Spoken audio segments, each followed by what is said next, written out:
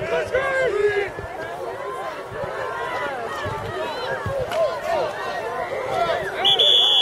pass complete to number two, Marcus Krasinski.